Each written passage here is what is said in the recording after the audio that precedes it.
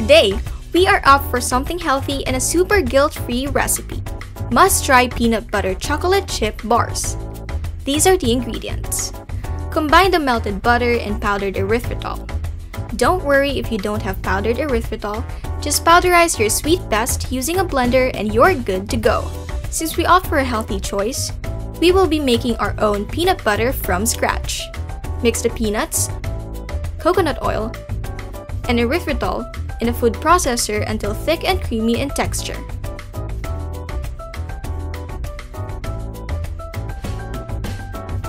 Then add this fresh peanut butter in our butter mixture earlier and give it a good mix. Add in the eggs one at a time,